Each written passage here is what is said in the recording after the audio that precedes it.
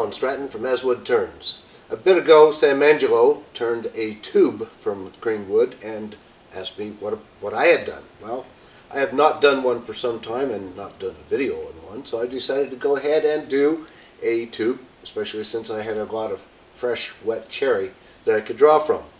So in this video, I'm going to make this tube and let it warp. One significant consideration is that this tube is a cross-grain turning. You'd think that since it is tall and thin, that it would be an end grain turning, but since I want to encourage warping and distortion, a cross-grain blank will work best. Since sapwood shrinks and warps more than heartwood, I want to cut my blank from one side of the log and on one side of the pith. I don't want the pith in my turning as heartwood on either side may balance out the shrinkage. So I'll move over from the pith and cut. Maybe on the next one I should try including even more of the sapwood. However, then I'd lose more of on the top and bottom of the tube to get the square ends. Now I'm mounting my timber much like a spindle, but remembering that this is cross grain. Actually, this is much more like a very tall, skinny, bottomless bowl. I'll use a bowl gouge to rough out instead of a spindle roughing gouge, just in case. What a shower from wet wood! Then cut a mounting tenon on one end. Next I'm remounting into a chuck with that tenon, and quickly finish roughing and then refining the exterior of the cylinder.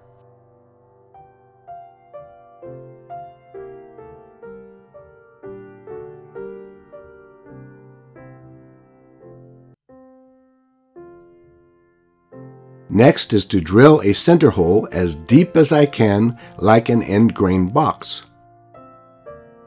Now for hollowing. I'm starting with a small gouge, but don't get too far before I switch over to a square corner box scraper. For this application, the scraper works much better than a gouge. I'm practicing going straight in, starting near the center, then working out a little at a time. My problem is that I'm generating a lot of shavings that I have to remove frequently.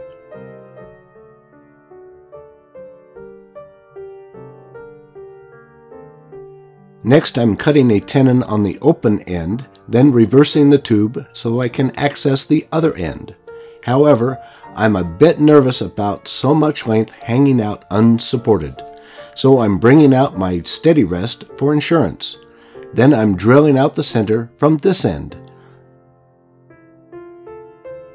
But here's where I got in trouble. My tenon broke. I should not have been surprised because of the green wood and no center support.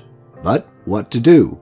I broke away the rest of the tenon, then inserted the whole tube into the shark jaws. This gives thicker walls that should not break. I'll clean up the marks later. Then I used a 45 degree cone live center to center the tube. Problem mostly solved.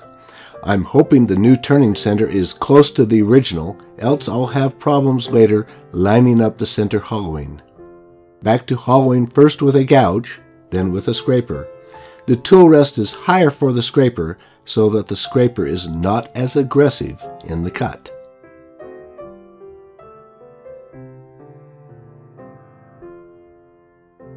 Now, since the other end is a bit ragged from the tenon breaking, I'm reversing again so that I can clean up the end and maybe refine the tube.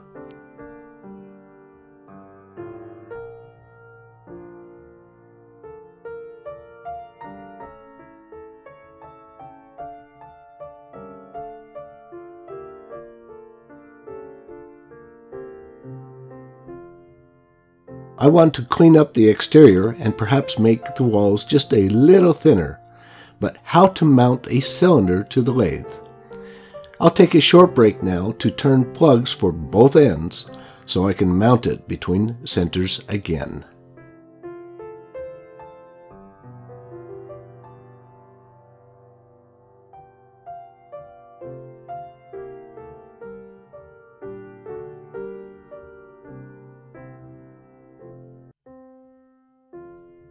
I'm cleaning up the exterior then cutting a series of beads along the length.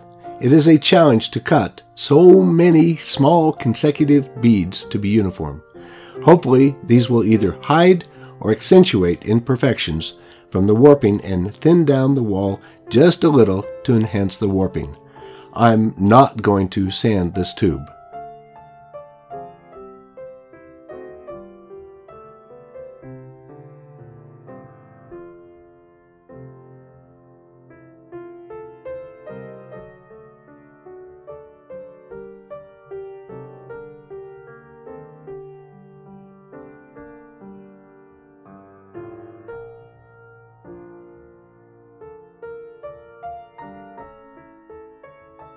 Now with the turning done, I took the uh, wood fresh from the lathe, put plastic wrap, this stuff over the end of it, and uh, poked a hole in the end to let steam out, and then bunched it up closer to the end uh, so that the rest could dry. I think plastic packing tape would work much better than what I did.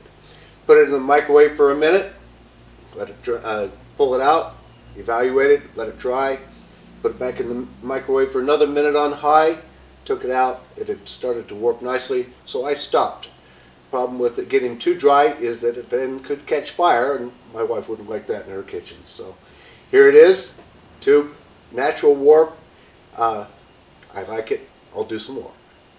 So, Sam, here's my tube out of cherry with some nice warping and distortions. This cherry seems somewhat calm and stable. Next time, I would not cut a tenon on the open end of the tube. Instead, I will use the shark jaws to grip the exterior. The steady rests saved this project when the tenon failed. I'll use it again next time. And we'll see you again next week for another wood turning video. Please give this video a thumbs up subscribe, and tell your friends. Always wear your full face shield. Goggles are not enough protection. Until next week, this is Alan Stratton from As Wood Turns. Let's keep on turning.